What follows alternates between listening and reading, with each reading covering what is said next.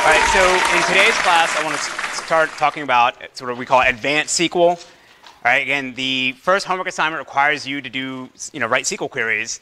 Uh, but given that SQL is 40 years old, there's a ton of tutorials on the internet, there's the textbook, and a lot of you actually already have SQL experience. I'd rather not spend today to, to teach you the basics of SQL. I want to teach you the more complicated things you can do with it, the more interesting things. Uh, and and, then you know, have you learn to understand the power of what SQL can do. So before I begin that, I just want to make two quick announcements. Uh, if you're interested in database research, which is my, which is my area, uh, there's two additional opportunities you can have this semester to check things out, to learn what's going on in sort of the state-of-the-art database systems. This course is sort of designed as a classic database system course, meaning we'll teach you sort of the basic architecture of how they design stuff in the, in the 70s and 80s.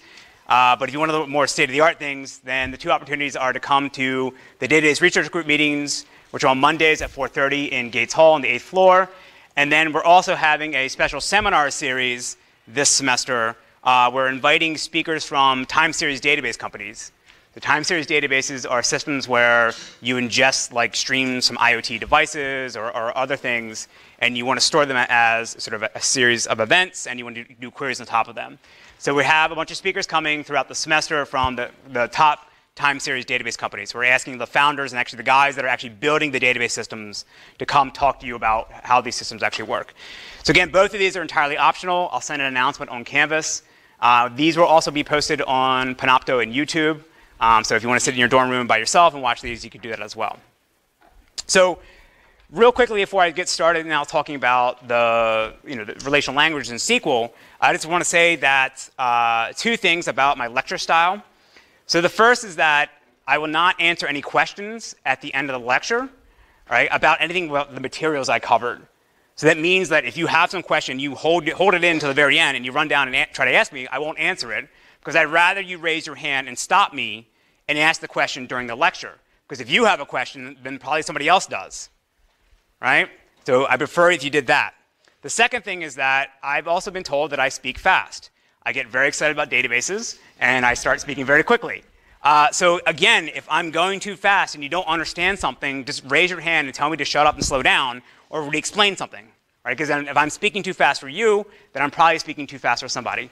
I'm aware of this problem. I've gone to counseling, uh, and I'm trying to make an effort to not speak fast. But as I said, databases is the only thing I really care about in my life other than my wife, and so I get excited and I start speaking fast. That's not true. The dog's number three, but that's all right. Um, okay, so in the, in the, previous lecture, I posted it yesterday, uh, which I realize is a bit late. Um, so if you haven't watched it yet, there's nothing that we're going to cover here in today's lecture that depends on you, know, you knowing exactly what I talked about in the last class. But I'll just say that what I showed in the second lecture was these sort of mathematical concepts of how you can ask questions on a database system or on a relational database. So we looked at relational algebra and we looked at very briefly relational calculus. And so obviously you don't write programs in relational calculus or, or relational algebra. You need sort of like a, a programming language that uh, it's easy for humans to write. And so this is essentially what SQL is, right? SQL is the, is the language that you can use in your program to write queries on a relational database system. And the key thing to understand about SQL, and in fact all relational languages in general, is that they are declarative, as opposed to imperative or procedural, as you normally would do in like Python. So what I mean by that as a declarative programming language is you as the programmer only have to tell the database system what the answer is that you want and not how to compute it. So if you remember from the second lecture when I showed these relational algebra operators, I just, you know, we just define them as sort of low-level primitives to read data and, you know, perform filters on, on, on our relations. We didn't actually specify anything about how we wanted the data system to do that. There was no for loops. There were no, uh, you know, uh, built-in hash tables and other things that, that you would normally have in a programming language. We only had to tell the database system what we wanted. And in relational calculus, the tuple relational calculus was sort of an example of this. We just said exactly what we wanted. We didn't specify any steps and the database system could, would have to figure out what the best way it is to execute it. So that's the main, uh, the main win you're going to get with SQL as opposed to uh, you know, using Python or C++ to, to program on a database. And so that this means from, from our point of view, from actually the internals of the database system, because that's what we care about in this course, we care about building the, the database system, not just using it, uh, that means it's up for us as the database developers to implement a, a query optimizer inside of our system that can take a SQL query, convert it into the relational operators, and then generate the most efficient plan that we can find how to execute that, that query efficiently. So every time you open up SQLite or MySQL or Postgres or any, any relational database system, and you give it a SQL query, it's going to run through this very complex piece of code called the optimizer that tries to figure out the, the optimal plan for this. And it's actually quite amazing what, what these things can do. Like, you know, it, they can run these things in, in microseconds or milliseconds. For more complex queries, they take a bit more time. Uh, but this is, we have to do this because the, the user's not telling us exactly what algorithm to use. We have to figure out this, uh, the right strategy on our own. So we'll cover the query optimizer in a few weeks. I'll just say that this is sort of the black art of database systems, right? This is the kind of the piece of the, these systems that, at least in the commercial systems, that they keep very secretive uh, because they've spent you know, hours and hours and hours, millions of dollars, multiple years building these things. And this is really what separates the commercial database systems, which are very expensive, from the open source guys. Right? So the SQL Server database, uh, query optimizer is actually really, really good and much better than MySQL, Postgres, and SQLite because they've had really smart people with PhDs and a lot of money spending a lot of time to, to improve it. So we'll, we'll cover that later when we talk about query optimization. So the SQL language itself, as I said before, defines, has basically two categories of operations you can do in it. So the first is the DML, the data, data manipulation language. So these are your selects, inserts, updates, deletes. And then you can also have the DDL, or the data definition language. And this is how you define your schema for your database. You create table, create index, create constraints, and things like that. There's some additional things to create views, and there's things you can have do transactions, and we'll cover those later. Um, but this is, these, this is everything you need to do to program a database can be defined in, in these two categories. So now one very important thing that, that I need to bring up, and it'll come up uh, throughout today's lecture, is that SQL is not based on sets the way relational algebra was. In, instead, it's being based on what are called bags, right? It's a uh, it's an unordered uh, collection where you're allowed to have duplicates, right? A list has an order, and you can have duplicates. A set has no order, and you can't have duplicates. And a bag is no order with duplicates. And we do this in SQL because it's actually expensive to remove duplicates. There'll be a keyword to actually do this, but in practice, most people don't actually need this. And so it's not worth the extra overhead to figure out to prune your duplicates when you run your queries. So again, this will come up when we go through a bunch of examples. Just be mindful of that SQL by default will allow duplicates, and whereas relational algebra does not. All right, so the history of SQL is actually kind of interesting. Um, so again, if you hear me saying, I, I call it SQL, right? But the letters are SQL. All right, some people say MySQL, some people say uh, MySQL. And the reason why I say SQL is not that I was alive in the 1970s, but when the, the, the language first came out in the 1970s, it was written as S-E-Q-U-E-L. Right? It stood for the Structured English Query Language. So SQL was developed by IBM at IBM Research when they were building one of the first relational database systems in the 1970s. So again, Ted Codd wrote this, this amazing paper on, on relational model, but he was a mathematician, right? He wasn't a programmer. And uh, these, these people in, in, in San Jose saw the paper and said, hey, let's try to make this, you know, make one of these database systems. And they basically took his paper and actually made it, made real software that, that, that was based on the relational model. And so one of the things that they had to develop was the query language because in the relational model paper from Ted Codd, he didn't specify any query language. It was all mathematical notation for relational algebra and relational calculus. He then later proposed a query language called Alpha, which never actually got implemented. Um, but you know, I, these IBM guys that were building System R, they had to sort of invent their own, and they came up with, with SQL. So, I, uh, well, System R is going to come up multiple times throughout the lecture, uh, or sorry, the semester, as well as the other early relational database system, Ingres, which came out of uh, uh, Berkeley, right? If you know Postgres, Ingres is the predecessor, right? Postgres is post-Ingres, right? It's the same guy that, that invented both of them. And so, he, so the, the Ingres guys had this other language called QUEL that was sort of based on Ted Codd's, uh, Ted Codd's language. And at the time in the 1970s, the, uh, SQL and QUEL were sort of, they were considered equivalent. They were sort of equal competitors. Um, the other relational database that came out in the later 1970s was Oracle. Um, which is you know one of the most famous database companies. Um, and they, when they were building Oracle, they actually borrowed a lot of ideas. I won't say copied, borrowed a lot of ideas from IBM, because they would literally call the researchers at IBM and say, "Hey, you know, what does your thing do if you give it this? What happens with that?" And they just re-implemented the same thing in, in Oracle. And so what happened was when IBM never actually really released System R publicly, because um, they still had IMS, they were still making a lot of money with that. But then by the late 1970s, or early 1980s, it was sort of obvious that the relational model was going to win. So they released a new database system called DB2, which is still out today in 1983, and it supported SQL because IBM invented SQL.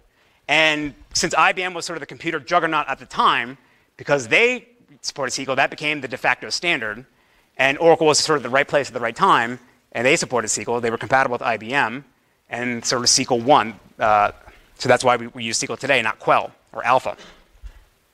So it was ratified as an American standard in 1986, and then became an international standard in 1987.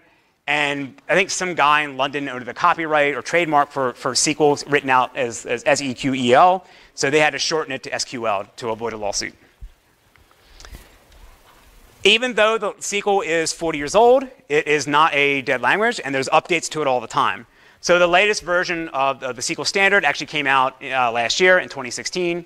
And as you can see from the sort of timeline here, every so years, every so often, there's, there's a new update with new features and new functionality. Typically, what happens is all the major database vendors get together, and they all have sort of some proprietary SQL feature that they added to their system, and they push, try to push the standard body to, to adopt it. Um, sometimes it works, sometimes it doesn't work. Uh, so the latest version, was, again, is 2016. This added support for JSON and polymorphic tables.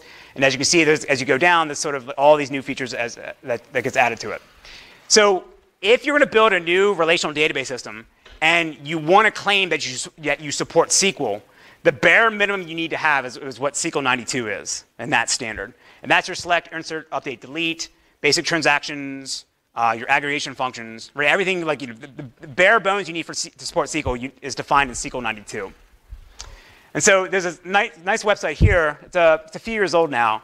Uh, but in this, this, website here, the, the guy actually goes through the, the, the, major database systems and shows how where they follow the standard and where they're in, incompatible. So this will be come up multiple times, and I'll, I'll show examples of this as we in this lecture. But although there is a SQL standard, almost nobody, actually nobody actually truly follows it. Everyone has their own little proprietary uh, uh, uh, nuances and, and, and differentiations. Uh, in my opinion, Oracle and Postgres probably the follow the standard the most. MySQL historically was the biggest offender. Uh, they've gotten better in, in, recent years, but when everybody, all the other data systems would, would you know, implement a function one way or have it called one thing, MySQL would come up their own, their own term. Uh, but like I said, in the newer versions, they've slowly fixing these things. All right, so for today's agenda, as I said, I want to focus on uh, sort of more advanced features of SQL that you're going to need to understand and know in order to complete the first homework assignment. And again, in the textbook, you can read how to do basic selects, inserts, updates, deletes. But I want to focus on things that sort of go beyond what they talk about. And in particular, the one that you're going to really need for the homework is, is CTEs, or common table expressions. And I'll give a little demo as we go along to show you how uh, Postgres, SQLite, and MySQL supports these different operations and where, where, they, where, they, where they deviate from each other. All right, so for this, the example database I'm going to use in this lecture is a simple university application that has three tables. We have a student, student table with student ID, name, login, and GPA, a course table with a course ID and a name, and then we have a cross-reference table called enrolled that maps the uh, student ID to the course, and then lists, lists what their grade is. And again, I'm going to use this as, as the example as, as for every slide. All right, so the first thing we have to talk about are aggregations. So an aggregate is a function that's going to take uh, one or more tuples, a bag of tuples, and then uh, do some kind of computation on them, and then produce a single result. Right? So say, again, say you take the first one, the, the one at the bottom, count. So the count function will count the number of rows that you have and produce a single scalar value that gives you that count right? Min and max are sort of obvious. Sum uh, adds together the, all the values of the column, and average takes the average of them. So these, these sort of five functions here, these are defined in the SQL 92 standard, but there's some additional ones as you can expect, like mode, median, standard deviation, uh, in the newer versions and, and in other database systems. So let's look at an example like this. So you put the aggregation function in the output clause of the select statement. And so this example here, we want to count the number of students that have a login that ends with at CS, right? And then this will just get outputted as a, as, you know, as a scalar value as its own, own, own tuple. We can also rewrite this in another way, right? So in the first example I showed, uh, I'm counting the number of logins, right? But this is actually kind of like unnecessary because we don't actually care what the, what the contents of the login field, we're just counting the tuples that we find. So we can actually replace the actual the field login inside the count and just put a star, right? That's considered equivalent. Or in another way, we can just put one, right? For every every tuple we find, we just count one and add it up. Right? So this is showed as an example that the same SQL query can be written um, in a bunch of different ways. And this will come up and we talk about more complex things. But this is sort of essentially what the query optimizer is going to try to figure out to do is how to rewrite your query into a more simple form that's easier to calculate. All right, let's look at another example. We want to get the number of students uh, and their average GPA that have the at CS login. And this shows that you can add, you can have multiple aggregation functions together in your output list, and it'll compute those sort of independently with each other. So this will again, again do our count of all our student IDs, and then takes their GPA and, and, and computes the average. Right? And you get, a, and you get a, a, single tuple result like this that has separate values for each of our, our, our, um, our aggregation functions. All right, so this is pretty simple. You can do more complex things. You can actually throw the distinct clause in there. So this is going to count the number of students, uh, number of unique students based on their login address, right? And you can do that again. And this is essentially again just finding the duplicate logins, collapsing them to one, and only counting them one time. And again, you use a single scalar like this. All right, so the thing to be mindful about aggregations is that you're often tempted to get more information about what the aggregate you're computing. Right? So say in this query, we want to get the average GPA of all the students that are enrolled in each course. And so we want to include maybe the course ID, right? Because otherwise the average, it doesn't make any sense. So this actually won't work, right? Because the course ID is undefined for this. So actually, this most database systems will say you can't actually run this query, right? Because you think about what you're doing, you're collapsing multiple rows uh, and computing the aggregation on the on the GPA. And what are you supposed to do with the course ID in each row? Do you take the first one? Do you take a last one? Do you take a random one? MySQL used to give you a random one, and now they fixed it and throw an error. Um, and so this is actually also not the actually not the answer we were looking for either, right? Because we want to take each course and compute their average GPA per course. And so to do this, we can use the group by function, the group by operator.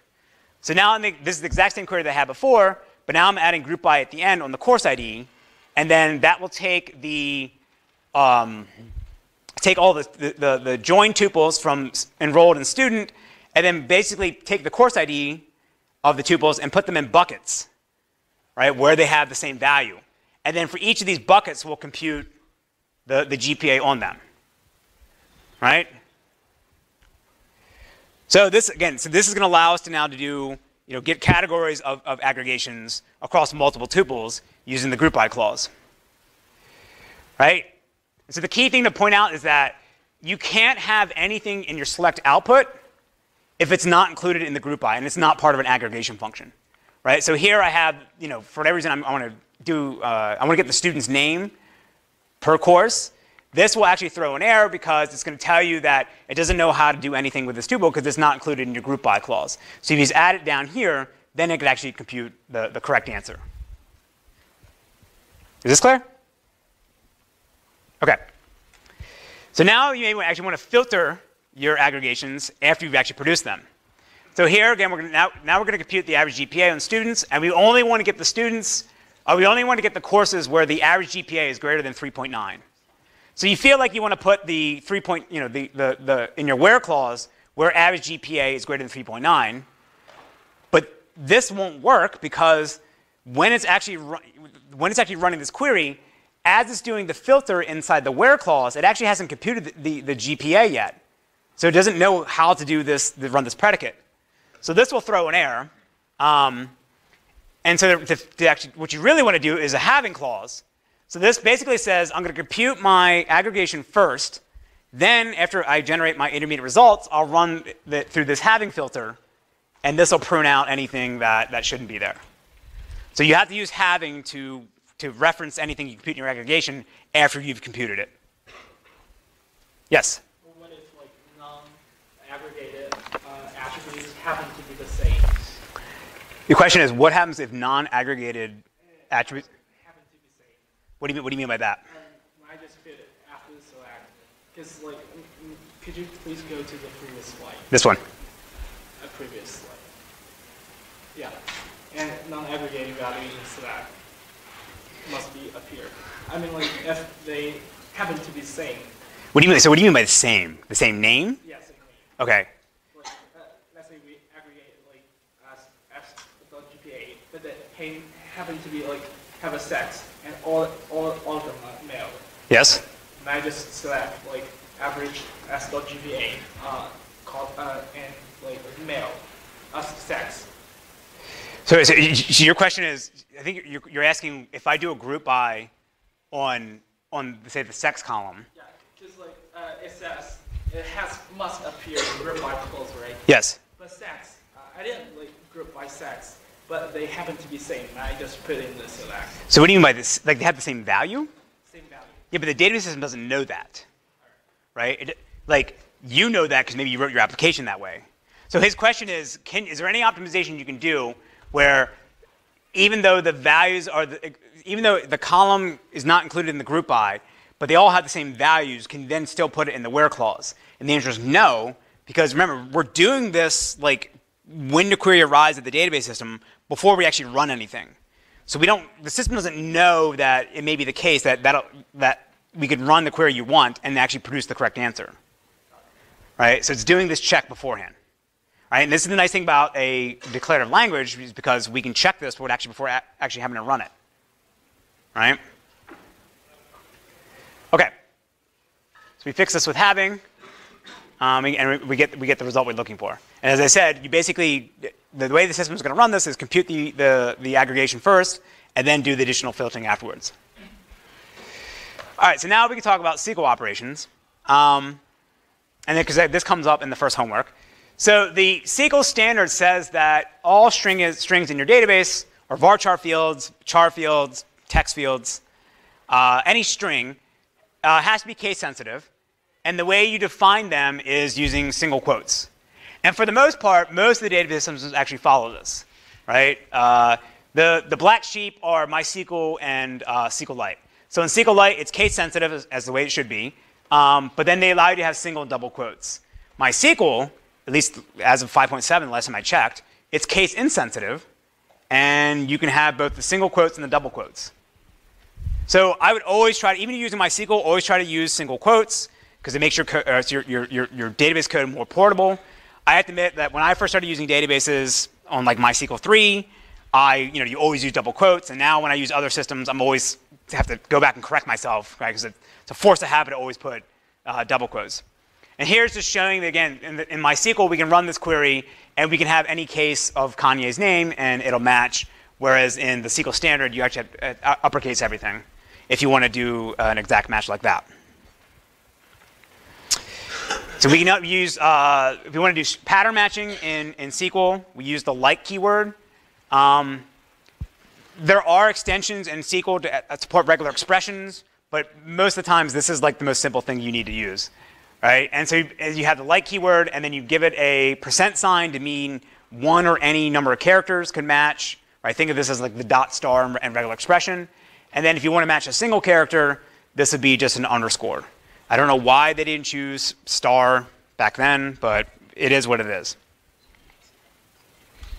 So now we can also have a bunch of string functions as well. So the SQL standard defines some basic string operations like string length, uh, substring, and other things like that, um, lower, upper. Um, and of course, all the database systems have their own proprietary uh, string functions and extensions. Um, the key thing I just want to point out, though, is that you can invoke a string function anywhere in the SQL statement you have, you have a string or varchar. So it can be in your where clause or it can be in the select output. It, it doesn't matter. To concatenate strings, uh, you want to use the double bar. So in the SQL standard, it says this is what you should use. Uh, in SQL Server from Microsoft, they use the plus sign, And in MySQL, at least as of 5.7, they only support the concat function. I don't know why they don't support uh, the more simple syntax, but if you need to concat strings, this is what you have to use. SQLite will use the double bars. What's that, sorry? Okay. Um, all right, so overall, strings are usually mostly compatible uh, from across the different database systems. The date and time functions are, are pretty are pretty loosey-goosey in each system. They're all much, much different. And this sort of sucks, right? Because you think about it, SQL is supposed to be this sort of universal uh, syntax, universal language to communicate or write programs or write code on a, a relational database system. But there, you know, there's so many different proprietary things that it makes it very hard to make have your code be portable. Um, so you have WordPress, for example. WordPress only runs on SQL, uh, MySQL. If you want to use another database system, it's a lot of work to actually convert everything. So uh, the date time functions are probably the worst parts, right? And so date times, they have these different operators you can do, do in different, uh, in, in, either the output or the, or the, predicates, just like we did with uh, string functions. Um, but things are much, much different.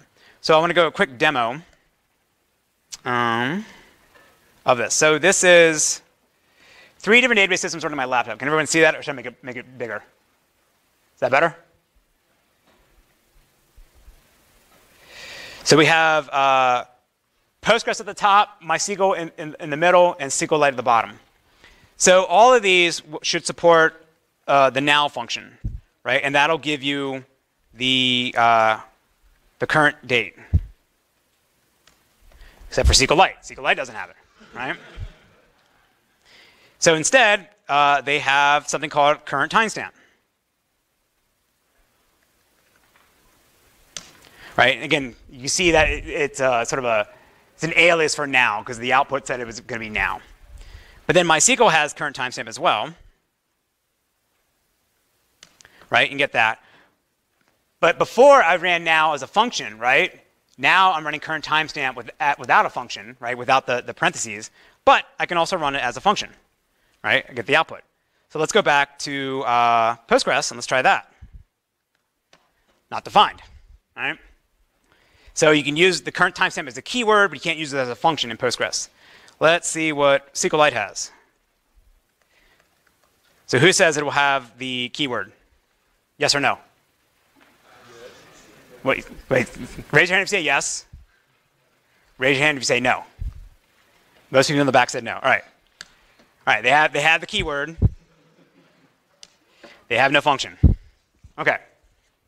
So let's do an example now where uh, we try to compute the number of days from today since the beginning of the year, right? And so the uh, we can use an extract function. I'll use Postgres because Postgres follows this. Sorry, follows the standard pretty well.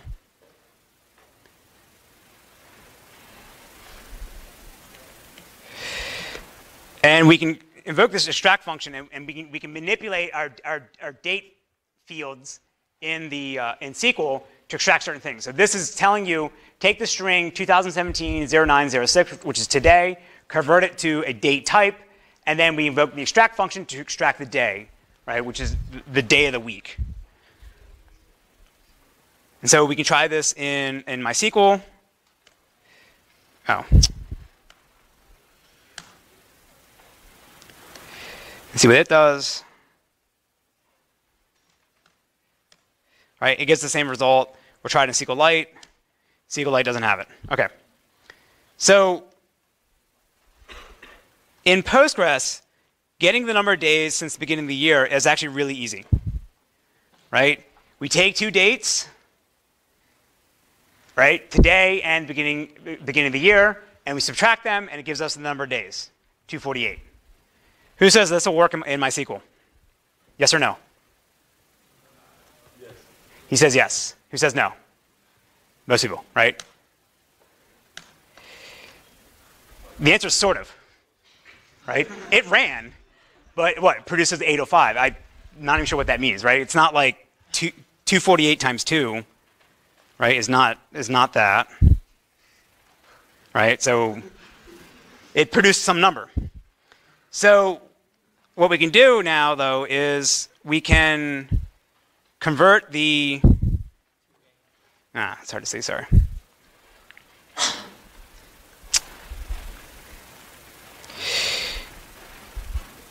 But you can sort of see the query there. So what we'll do is we'll take the current, we'll take, convert the string for the dates, convert it to the Unix timestamp, which is the number of seconds since the Unix epoch in 1970. All right, and then we'll round them to be, uh, to be integers, and we'll subtract them from each other. But then we'll, we'll divide them by 60 seconds times 60 minutes times 24 hours, right? And then it produces 248. Uh, and we, we, get the answer we're looking for. So this is, this is one way to do it, uh, but MySQL actually has an even easier way. Um, they have what's called a date diff function, right? So this is essentially doing the same thing we did in Postgres where you subtracted two things, but they have it to do it as a function. So Postgres actually has a really interesting type system, um, which we'll talk about later in the semester, or later in the course, um, where it allows you actually to define your own types. And then sort of like you can do in like C++, you can then override the operators like plus, minus, multiplication to, to do whatever it is you want to do. So that's sort of why they have a nice, you know, you take a data object and you can subtract from each other and you produce the, answer you're looking for. And so, of course, none of this is going to work in SQLite. Uh, I took a while this. I'm not going to show you how to do it. Uh, I figured out how to convert the timestamp into the Julian calendar day, which is the number of days since the beginning of the year, and then you can subtract the two of them, right? And that we can round that up, but that, there you go, the right answer, 248. So again, a seemingly simple thing to do, count the number of days since the beginning of the year, has to be done completely in completely different ways in, in SQL for all these different programming languages. Okay, so now we can also talk about output redirection. So in all the examples I just showed, when I opened up the terminal, we were running some SQL query, and it would dump out the result to the terminal. But maybe what you really want to do is actually keep the result of a, of a query still in the database system and then run additional queries on top of it. And we want to do this because we, we avoid the problem of maybe running some query, getting the result in our application, which might be running on another machine in, in another data center, and then sending it back up to actually install it as a table. We can define a single query that takes the output and puts it right back into our database. So the SQL standard says you do this by adding the into keyword into your select statement here. Um, and of course, MySQL has to be different, and they, what they do is you can create a table, and then inside of the parentheses where you would normally define your columns in your table, you just put a select statement. And then whatever the output of that select statement gets inserted into this table. So with the same column names, the same types, and same everything. But let's say that you already have a table that exists, and so you, you can't use the, the, the select into, because that will actually create the table you can actually use inserts where you put in the parentheses the actual query you want to put into it, right? And so the key thing about this is that the select statement has to generate results or tuples that have the same number of attributes or columns as the table you're inserting to, and they have to have the same type, because otherwise it'll, it'll throw an error. There's also other complications you have to deal with when you, when, if you have constraints on your tables where you don't want to allow duplicates right? And the SQL standard, I don't think actually specifies what should, what should happen, and all different databases do different things. So let's say I have a primary key uh, where some, there's one field that always has to be unique, and then I run a, an insert query like this, where I'm selecting 10 tuples and want to put it into this, this other table. Let's say, though, that there is a duplicate key uh, in the table that I'm select, or from my select that I want to insert into. So should the database system you know, only allow you to insert nine out of the 10? Should it not let you insert any of them? Should it throw an error? Right? All those different things are left up to the implementation of the, the database vendor. And as far as I know, the different database systems, database systems do different things with this.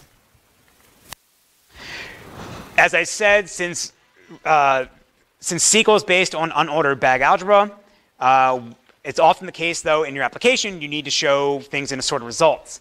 So we can use the order by clause to, to take any any SQL result as any query, and then order by the columns that we specify in our output list. We actually do more complicated things, and you get a result like this.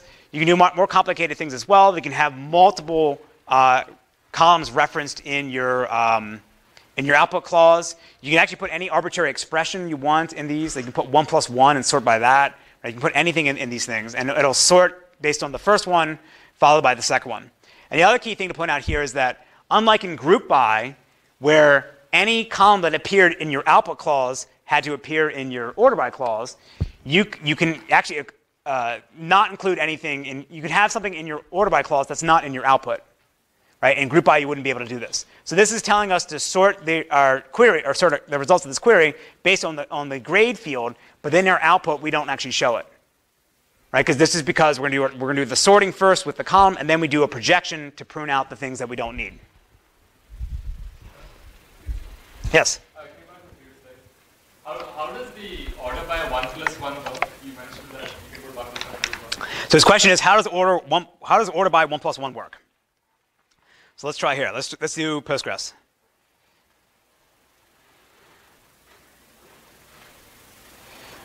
Um, all right, so we have, say, the enroll table. All right. So we can do select star from, um, from enrolled. Is that big enough for everyone? See that? Select star from enrolled, where, or actually, we're not even have a where clause. So we order by student ID, right? And as expected, we get our things sorted in the order that we, we in this column here. So I can do, in theory, 1 plus 1. And it, and it took it. So what's it, what, what, how did it sort it? Undefined. Because what's going to happen is it's, the order by essentially is going to loop through every single uh, tuple in your output. And it will look in whatever the order by clause is and say, well, what's the value of the attribute that you're referencing, the expression you're referencing uh, in this first order by clause? And in this case, it's 1 plus 1, the answer is 2. So that means it's sort of think of it as there would be a virtual column for every single tuple that represents the order by expression, and the value is always going to be 2.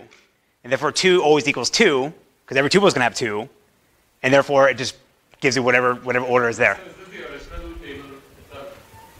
Is this, th- yeah, so like, what do you mean by original table? Like, Like how data was entered initially? ah, so his question is, and actually, if you look at this, right, so if I do order 1 plus 1, right, I get this order, and I get rid of the order by, it doesn't change, right? It gets the exact same order, right? So his statement is, is this in the same order that was inserted? And the answer is yes, but no. Yes, because that's what it, what it did, but no, because again, relational, relational database, relational model is unsorted. So just because we inserted things, you know, in one way at one point in time doesn't mean the database system can't come around and insert things in another way later or reshuffle things. And it's still considered correct. If you care about the order, you add the order by clause. Right? So let's try this. Let's try um, order by SID, and I'll, I'll append XYZ to it. Nah, that's right? Again, I had, I had my expression. It, it, you know, it took the, this, the student ID, appended XYZ to it, but since it's going to do this for all of them, it ends up being the same. All right? Does that, that answer your question? Okay, cool. All right. Um, you also sometimes want to limit the amount of output you have. And to do this, you, there's a limit clause. And all you have to do is either you put the, the, the number elements you want to uh, produce as your output at the end. Yes? In the previous slide, there were two columns in the order by. Was that to break it out? The question is, there's two columns in the order by clause, and that's what? Yeah. Is that to break it out? Correct, yeah. So his question, his statement is, I have two clauses, two uh, columns referenced in my order by clause. What's the purpose of this? Yes, this would actually be used for, to break ties. So the way to think about this, I'll sort everything by grade first, and then produce sort of buckets, and then for each of those buckets, I'll go and then sort them by the student ID. Yes? Yes? Also, you just said like uh, there might be somewhere for the system to reshuffle every uh, all the rows in the table. Yes. But should them all have like a specific row ID with the upgrade? So, so his statement is, I, I made a previous statement that the data system is allowed to reshuffle the order in memory or on disk of how tuples are stored. And then your statement is, aren't tuples going to have a record ID? Yes. And again, this is, for our purpose that we're discussing here, we're not talking actually, actually how these, these things are actually implemented. So the, um, you know, we're dealing with SQL at sort of the logical level, not actually the physical level. So a internal row ID which in a, a disk-based database system is usually the block ID and offset. Yes, in some ways, in most database systems, that will be static, and therefore, because it's always been the same block right, reference, it's always going to be the same offset. Um, but typically, the row ID would not be exposed to the to you as, as, as, as a SQL developer, SQL programmer. It's just using that internally for bookkeeping, right? In terms of the output, the output is, is what we see in, this, those, in these results. We don't know anything about how things are actually stored on disk.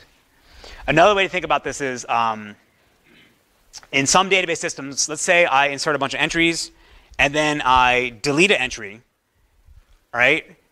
Instead of just having a hole you know, in my page where I can't use it anymore, the next tuple that gets inserted would actually reuse that slot. So now when I do my select and I get things in the order, I'm actually going to get that guy that was inserted last sort of in the middle because I reused the slot. Um, we can try with Postgres to force it to do that later. Um, you sort of you see how that works. But again, you should not be writing your programs in a way where you assume the order of the output. If you care about the order, you have to add the order by clause. All right, so limit, we'll limit the number of entries we have. Uh, we can also use an offset at the end to say how many elements we, we should skip over. So this is going to get the, uh, it's going to skip the first 10 elements and then grab the, the, the, next 20. So this is actually how you see a lot of, this is actually how you would implement certain websites where they show you a listing of results and there's like a, a button to click the next page and it shows you the, the next you know, 10 items. They're essentially running this query like this here. All right, so that's, what everything I described right there, that's pretty much basic SQL. Uh, and you know, I wanted to sort of focus on the aggregations a little bit because it'll come up when we talk about uh, window functions and CTEs. So now at this point here, we can actually start talking about more complicated things. So nested queries are a query where you basically have one query embedded inside of another. Um, and the, in, in, the internal query, or the, the, the inner query, as, as, they're called, can essentially appear anywhere in, in, your, in your select statement here. Right, so here I'm going select a name from the student where the student ID is in and then I have my parentheses. And this essentially is going to be a sort of uh, almost like a function that's going to produce a, a result of tuples that I can then use in my predicate to do my evaluation here. So nested queries uh, can be sometimes difficult to write, but sometimes it's the only way you can write certain queries. Actually, that's not true. There's other ways, but um, it's often the most natural way for us as humans to write SQL queries. But I will say is that these things are difficult to optimize, as we will cover when we talk about query optimization. Right? In this example, it's pretty simple because it's just two queries. But you can have sort of you know, nested queries, you know, 10, 10 or 12 uh, queries deep. And these things are really hard for the query optimizer to reason about. Because essentially what the query optimizer wants to do is it, it, it, wants to try to you know, generate the most efficient plan. And just because you wrote it in a way that's kind of stupid it can come up with, possibly come up with a better way, right? So if we took this particular query and um, read it sort of as, as, as, face value, right? Select an ID where the ID is in and then this, this query here. The, from a human standpoint, you can think of this as like a for loop on the outer query. We're going to go through every single student tuple, and then you're going to rerun this inner query, get all the student IDs, and then check to see whether you have a match. And this is actually what MySQL used to do up until a few years ago, right? And it's obviously the better way, one, you know, one easy way to, to, to do this more, more efficiently is run this query once, store it in like a temporary table, then do a join against it. And that's essentially what a query optimizer is going to try to do. But if you have really deep nesting in your, in your queries, it can actually be pretty difficult. But for our purposes here, we're, again, we're just focusing this on uh, uh, you know, what the, the syntax looks like. So let's look at a more complex example. Say we want to run a query. We want to get the names of the students that appear in 15445.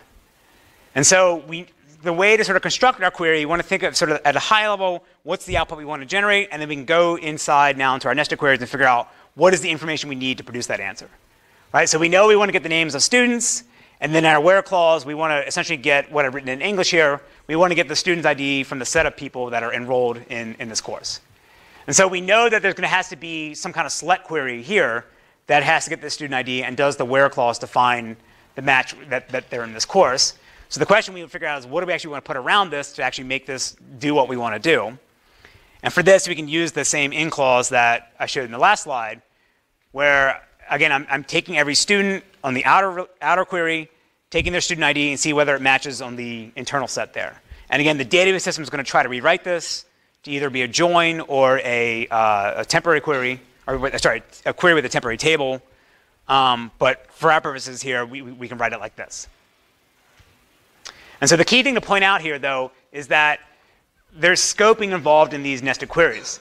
So in this inner query, we're, we're referencing the student ID, and the outer query, we're referencing student ID. But this, the, the database system knows that the scope of this first one here corresponds to the enroll table, because it's inside of that, our nested query, the inner query. And then the outer query has the student ID reference to the student table here. So we'll show some examples in a second where you actually can reference the outer query's uh, attributes inside of the inner query, but typically you can't go the other way around. So before I show you how to do, you can use in, there's actually three other operators we can use for nested queries. You can have all, which basically says that in our, our expression, all the tuples in our nested query have to, have to, have to uh, satisfy our predicate.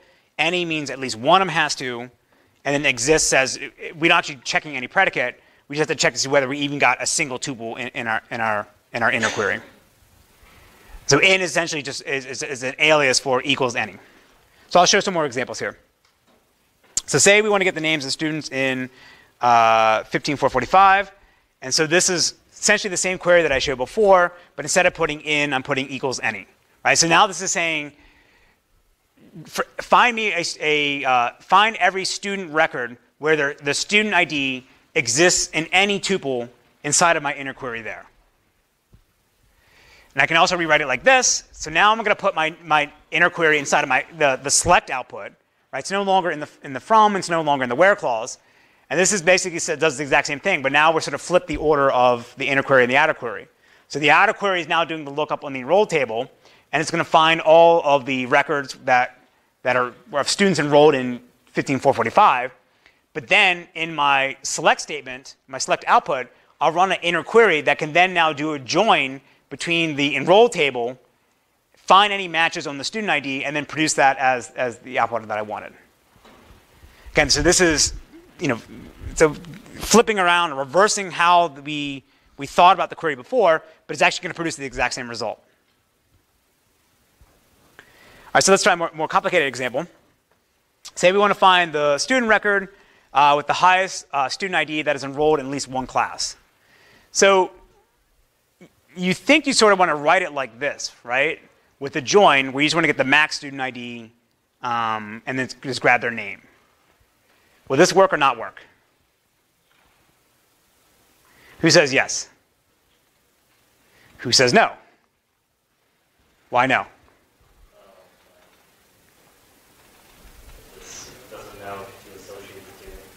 Doesn't know to sorry, associate what? Correct, yeah. So again, as I said before, we're computing an aggregate and we're trying to reference, we don't have a group by clause, we're trying to reference a, a, a, another attribute of our tuple, which you know, is undefined because we're collapsing all of the uh, entries, all of our tuples, and producing a single ag aggregate result. Right? So this doesn't work. Um, it will run in SQLite, which we can test. Uh, it used to run in MySQL, I used to give demos in, in early versions of this course with MySQL 5.6, and it would, it would do the right, it would do the wrong thing.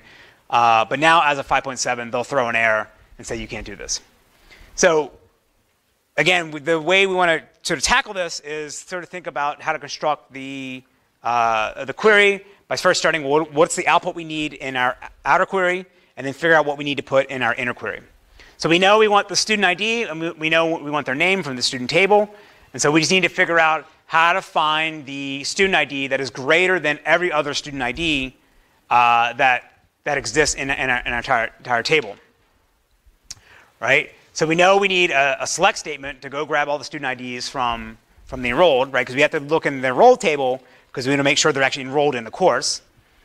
And we know that the student ID from the outer query has to be greater than whatever, whatever student ID we find in the inner query. And so for this, we just now use the greater than equals to, and then the all, the all, the all operator. So again, what's going to happen here, it's going to take this full predicate here, a student ID greater than equals to all, and make and that'll get satisfied if for every student ID it defines in the inner query, the predicate is evaluates to true. So if you find one entry with a student that is less than you, then you can stop the inner query right there and, and know that the predicate returns false. And apparently Justin Bieber has the, has the highest ID. All right, and again, as in SQL, we can rewrite this in a bunch of different ways. So here's basically the same result, right? And we can go back to use the in clause, and we basically, and now we just say do grab the max student ID from the entire enroll table, and we don't need a group by here because we're only computing aggregate, uh, you know, single ag aggregate attribute across the entire table.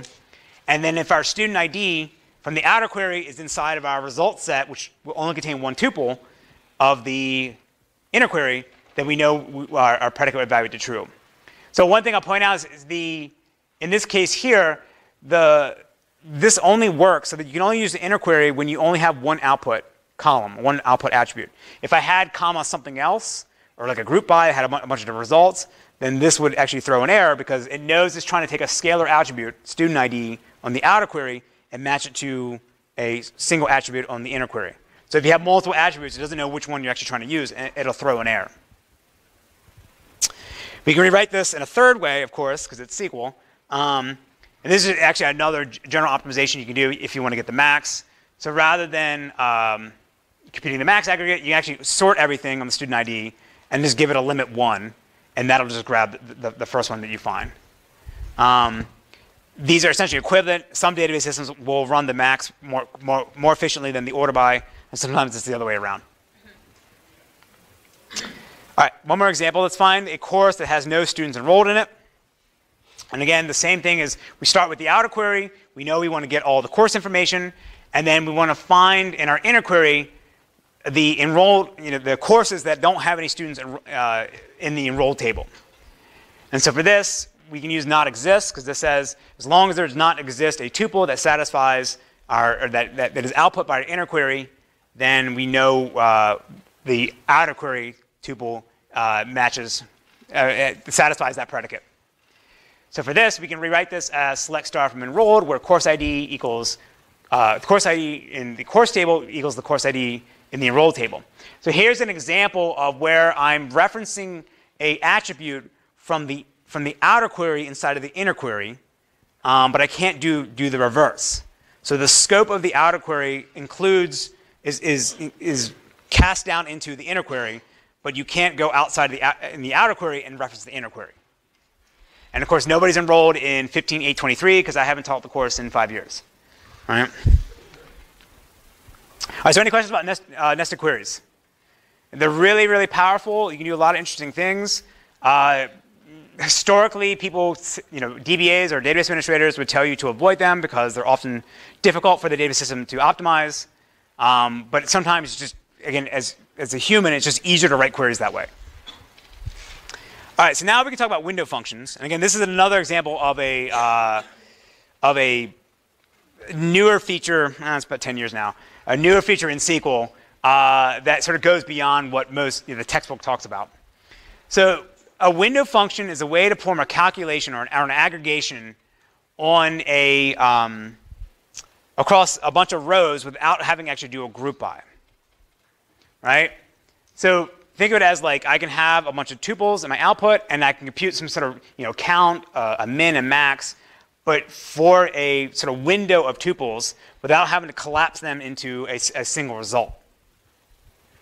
Right? And so the, the syntax you would use is you define your, your function first and what fields or attributes you want to compute your function on top of, and then you have this over clause that specifies how you want to group your windows in your, in your tuple results. I'll show some examples that, that, that hopefully make this more, more clear what's going on. I said again, the, the, so the over, the over keyword will, will define how we're going to slice our data up. We can also do sorting in there as well. All right, so our, our window functions could be any of the aggregates that we talked about before, average, min, max, count, sum. But we also have some two additional operators or two additional functions uh, that are specific to doing uh, window operations. So we can have row number, where you can specify what order that the tuple appears in your window, or the, the, number of elements in it, and then rank would tell you what the order position is. So again, as I said in the beginning, SQL and the relational model they have no notion of order of your tuples, and therefore they should have no notion of, of what rank or position you are in your output. This is allowing you to impose uh, ordering on your on your on your, your data on your in the query results to produce you know to produce the answer maybe you may be looking for. Right. So in this case here, say I want to do a select on the row table, or sorry, in, in the, the enroll table, and then I want to count. I want to know what position each element appears in my output list. So I use the row number uh, window function, and I define that over, in this case here, I say over nothing, so I'm not going to group anything up. And I'll alias it to the, the row num uh, name, and I get an output like this. And now, so now you see in the, the column all the way on the side, I'm getting 1, 2, 3, 4, 5. That corresponds the, the position of the row that is, appears in my output. So again, internally, the database system is not storing a row number for, for, for, these, for this table. It's only when you actually compute the query that it does actually add it. So the over key work is essentially sort of the, group by part. We can define actually how you want to group, group together your windows. Instead of using group by, you use the term partition by. So in this case here, what I'm going to do is I'm going to compute the, I'm going to get for the enroll table, I'm going to get the course ID and the student ID, and I want to know what position the, uh, the, the student is per course, right? So I have three courses, 445, 721, and 826. And in 445 and 721, I have two students, and so they have the row number one and two. And then the last one, they get row number one. Because I'm taking the course ID, again, grouping them into, into buckets or windows, and then I'm having my running total of the row number that I assign to this output column as I go along. Is this clear? Yes. Because the database internally doesn't store the row numbers, can the row numbers for the same row this clear? Yes.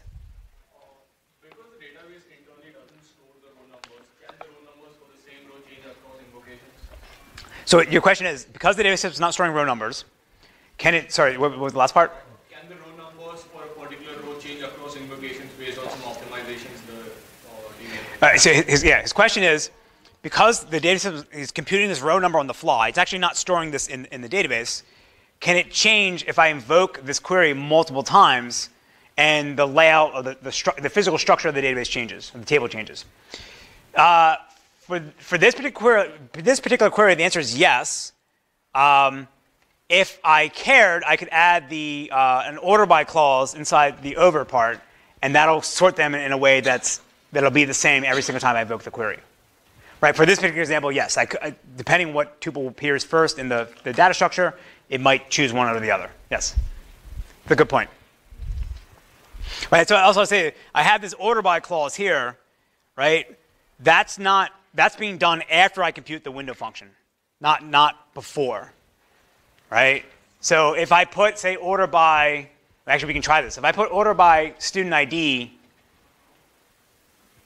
it might actually still, uh, it might actually reverse the order. We can try that.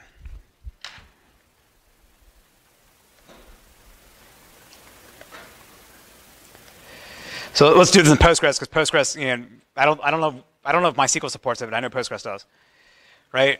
So this is the query that I ran, right? And you have again, we have the the, the course number first, and then we, but then we have the row number one two one two. So his question was if I, or my, my statement that I was making is that if I put the order by on the student ID here, this order by is being, being run after you compute the window function. So it's going to be sorting the student IDs afterwards. So even though in my first output here, I have 1, 2, 1, 2, 1, it's going in the order that they appear in, when I compute the, the, the row number. In my output here, it actually ends up with 2, 1, 2, 1, like that because it sorted them after it computed the, the, the, window function. And so if you cared about getting a, um, if you wanted to make sure that you always got the exact same value, uh, no matter how things change, I think you can put order by in here.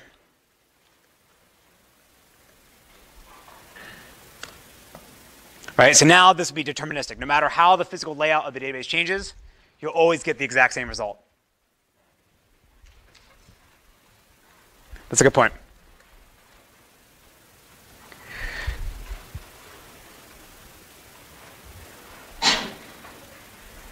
Okay. All right, well, there you go, spoiler. All right, you can put order by in there along with partition by, and you can do exactly what I just said. So we'll skip this. All right, so let's look at an example here. We want to get the student with the highest grade for each course, right? And now, we, now you see why you know, SQL can get kind of gnarly here. So we have an inner query where we're going to do our window function and compute the rank, again, getting their position in the course. And we're going to partition by the course ID, but we're going to rank order them by the grade. So you compute the rank after you do the, the partitioning and then after you do the order by. And then in our outer query, uh, we're going we're to bind this, this inner query as a temporary table called ranking, and then our outer query will reference the, the field, uh, sorry, will reference the field rank that's generated here inside of the inner query. Right, so again, you can daisy chain these things together in the same way we did with relational operators to do additional things on after you compute the inner one. And again, the database, it's up to the database system to decide actually how it wants to execute this. It could just execute this inner query once, write it to a temporary table, is actually probably what it would do, and then it takes that temporary table and then applies the, the, the filter on it. Right? If it was smart, maybe it could do something like, well, I know in my outer query I have ranking dot rank equals one, so I won't even bother materializing on the inner query any tuple where rank doesn't equal one. I'll just throw the tuple away because I know I'm, I'm, I'm never going to need it. Uh, how do rank and row number differ? The question is, how does rank and row number? So, so rank, so the rank is the order position of the current row. So if you order, rank is done after you order, on the on the inside.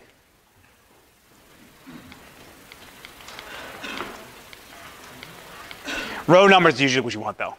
Okay. So any any questions about window functions? All right, so now, yes, the back. the? So this question is, if you use rank on the, um, says saying row number here,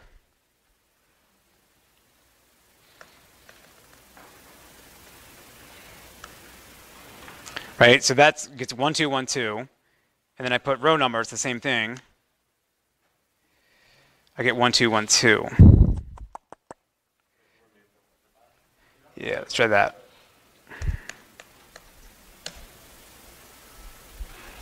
One, two, one, two. And let's do rank.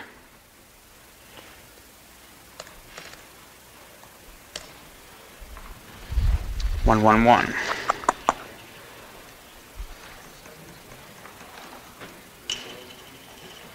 Let me get back to you about this. I'm forgetting why he's doing this. All right. What's that?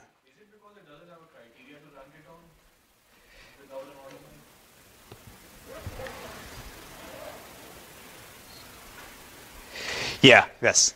Yeah, yes, it's the rank in the ordering. Yes, not when it appears in the partition. Thank you. Yes, that's it. Is that clear?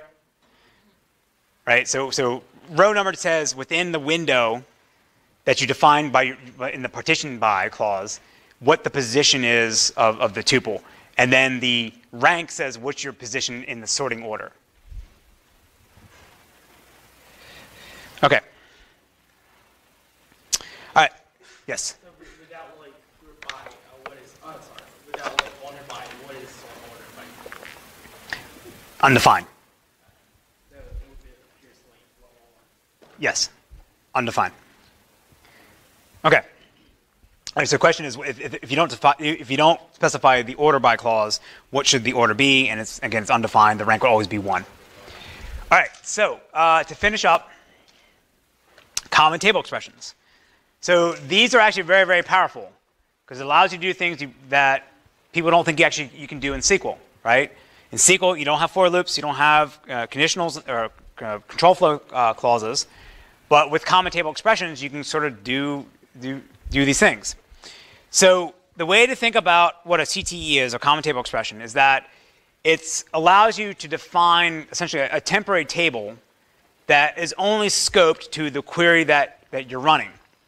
So you have this with, with clause, and then your, your common table expression, and then this, this SQL query here would then can reference up into that the common table expression. And you can do this as a sort of a global thing, meaning like for, for the entire every, every single tuple, or you can do it on a per tuple basis on the bottom query. Like you can sort of think of this like a, as a temporary table without having to define it. All right, so in this example here, my, I'm defining a CTE called CTE name, and then in, in, in the as clause, I have my select statement. In this particular example, it just it selects one. It returns a single tuple with a single attribute, and the value is one. And then down here in my bottom query, I can then reference that table and do whatever it is I, as I would on a normal reg, a regular table and produce whatever answer that I, that I need to compute. So if you now, uh, if you want to actually make it look more like a table, you can actually give names to these columns from your CTE so that you can reference them uh, in the bottom query. So here in my CTE, I'm doing select one, two. This is going to produce a single tuple with two attributes, and the value be one, and the second value be two. Uh, and by default, I imagine Postgres will just call the first column one, the second column two. But if I want to use a more descriptive name, I can put before my as clause in parentheses the name of the columns, and then down below in my bottom query, I can then reference them, reference them by that name. Yes? His question is, do I need types for this? No. Right? I mean, again, it's declarative. You can infer what the type is by, you know, because you know what it's trying to do, right? I can look at my inner, look, at, look in the inside of the, the CTE. It says select one, therefore it has to be an integer. If I reference, say, a table, then I know what the types are in the table that I'm referencing, so I know the type there. So this is not, it's not, it doesn't bind it at, at runtime, it actually binds it at, at, at the planning time, because it knows exactly what you're trying to do. All right, so let's look at an example. So I want to find, it's the same query I had before, where I want to find the student with the highest uh, student ID that is enrolled in at least one course. And before I showed how you could use the, the select maximum enrolled as an inner query, now I'm showing you how to do the exact same thing as, as, as a CTE. So in my CTE, I'm going to get the max student ID, and I'll bind it to an attribute called max ID. And then in the bottom query, I, I can do a join between the student table and the CTE with source table and reference the, the, the max ID that I generated up above. Right? And it produces the same answer. Yes? His question is, how is this different from nesting queries? Right, good, excellent. Because you can do recursion. So uh, in this example here, uh, I can have my nest, I can have my CTE reference itself infinitely. You can't do that with a nested query, right? So in this particular example here, uh, you have to add the, you have to add this recursive keyword that allow you to reference yourself.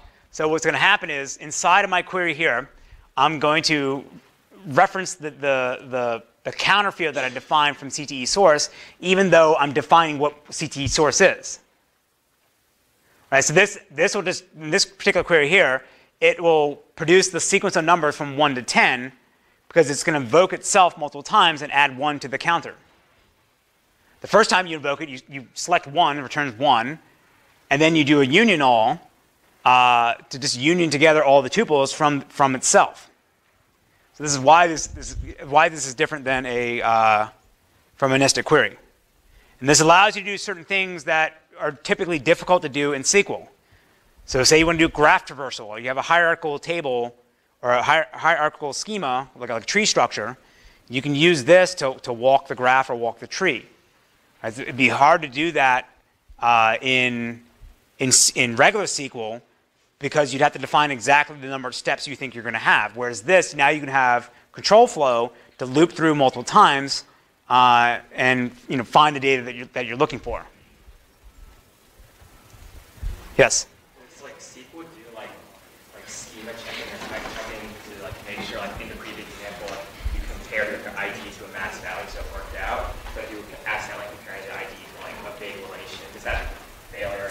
So his question, his question is, is SQL type safe? Is it going to check to see whether you're trying to do a comparison between two incompatible types? The answer is yes. Uh, a lot of times they, will they'll try to be nice for you. We, we, we, can give a demo. Like if you have the string 123 and you try to compare it with a, the number 123, it'll cast it for you. Uh, but in some cases, it, it says I can't do that, right? It'll throw an error. Um, and again, it can do it can, it can figure this out before you actually run the query, right? You don't have to do runtime checks. So I'll, I'll give a demo of this CTE in a second, but I want sure to show the example that he was asking. So he was asking, say I have the string one two three, and I want to add uh, the number one to it. Who says this will work? Yes or no? Yes? Yes. All right, let's try MySQL. Select one, two, three, plus one. Who says yes? Who says no? Yes. All right. SQLite. No? I did it. But so so let's take that same example, right? Let's say I put ABC in this now. Who says yes? Who says no? Raise your hand if you say yes. Raise your hand and say no. Right? In, in, invalid. MySQL, yes or no? Oops. Yep. Gives you a warning. You, you have to go look to see what that was. All right, SQLite. Raise your hand, yes. Raise your hand, no. So, the SQL standard says yes, you, sh- you should check these things, but it doesn't always do that. Okay? Um, all right, so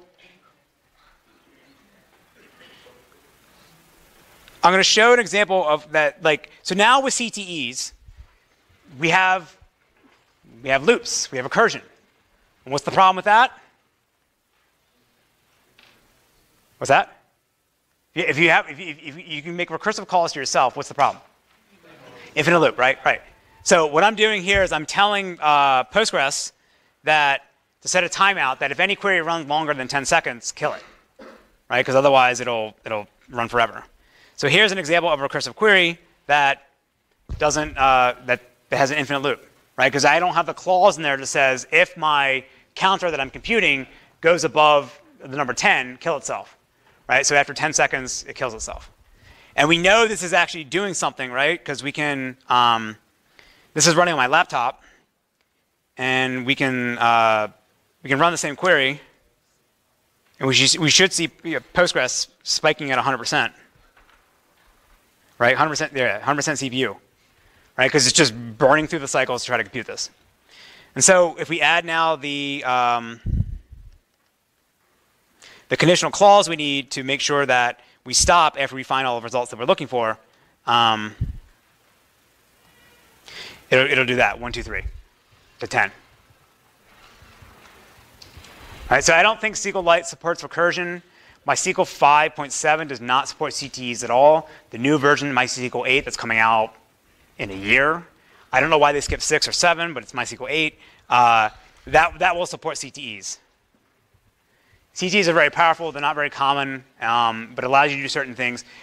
The way to think about this, what it's going to allow you to do, and this is sort of my, my concluding remarks, um, is that CTEs are going to allow you to um, be able to write complex queries that only need to run on the database system. So in your homework assignment, you could write some Python code that does a bunch of selects, brings some data down, crunches on it, and then, and then maybe does a run, runs another select and computes another answer. But that's really inefficient because you're going back and forth over the, over the network. I think it's SQLite, it's, it's, the same process, but you're going back and forth between your application code and the database system code to compute this answer. But with things like CTEs, nested, nested queries, window functions, that allows you to write within a single SQL statement uh, all, the, all the, the, the, the logic you need to compute the answer that you're looking for. And we'll see later on, we're going to talk about user, user, user-defined functions, but this is a, a, allowed you more powerful things because now they actually have true for loops and you have true programming language con- constructs that you can embed inside of a, uh, your database system and invoke them within a SQL statement. We'll, we'll, we'll see those later. Yes? Uh, Are CTEs and uh, nested queries equivalent at the logical level? His question is, are CTEs and nested queries equivalent at the logical level? No, because CTEs can do conversion, uh, recursion, and nested queries cannot. Nested queries are a special case of CTEs. Like, the query optimizers actually like uh, do common subquery elimination. His question is, do uh, do query optimizers actually do uh, specialization or, or with CTEs? Transform subqueries into like CTEs. I that I don't know. Yeah, like from a performance standpoint. Yeah, that, actually, that one I don't know. We should find out. Okay. Any other questions? Yes.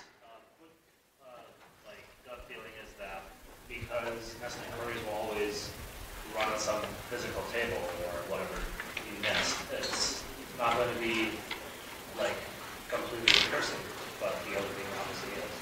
Like I wouldn't go as far as to say it's permanently recursive, but it looks like it's always going to have to terminate at some point.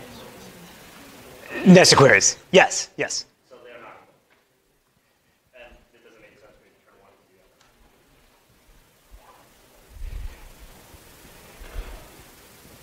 other. Correct. Yeah. So you, I mean, you can't even write synt- You can't write a nested query that references itself, right? So, so it's it's not equivalent. Uh, I'm trying to think if you can do this views. Views you can't do that either. Yes. I, I, I yeah. I think CTEs are a special case because they're recursive. Yeah, I was just wondering. Okay. All right. Any questions? All right. So homework one will be due. is due next Wednesday. We're releasing homework, or sorry, project number one on uh, on Monday, and I'll spend a little time talking about uh, what you know, the, the layout of the code. So everything you're going to do for the programming projects will be based on SQLite, but rather than hacking the internals of SQLite, although as beautiful as it is, it is very complex.